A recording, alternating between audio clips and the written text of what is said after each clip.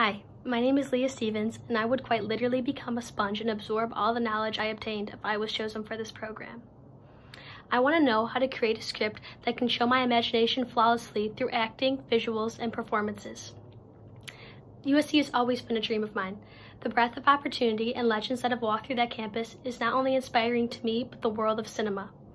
The USC School of Cinematic Arts would be the opportunity of a lifetime because I know here I can work with like-minded individuals under the guidance of an amazing staff, and we will be able to work together to support and produce our ideas.